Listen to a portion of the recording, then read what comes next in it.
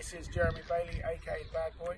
Uh, no Mosi for kickboxing. My professional record is 69 and 0, 68 KOs, got 9 titles, including 2 world titles, also former pro MMA fighter. Um, I want to give a quick shout out to one of the sponsors, which is Sidekick Boxing, who's uh, provided us uh, with these gloves, available in black, my favourite colour obviously, but also available in white. Right, great support.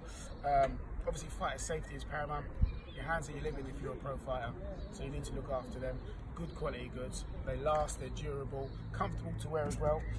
Also, we've got head guards available in black and white, which Daniel Knight from Sidekick Boxing uh, has obviously done for us. So these are what all the guys are going to be wearing at the show tomorrow, which is the Brawl at Oakridge Hall, Saturday the 25th of May in Basingstoke. Also use them down at Bailey's Gym.